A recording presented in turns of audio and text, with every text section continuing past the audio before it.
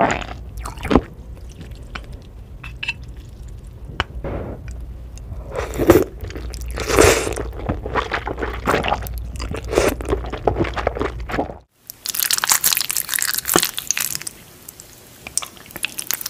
made mine a little dry today because I don't want that much liquid.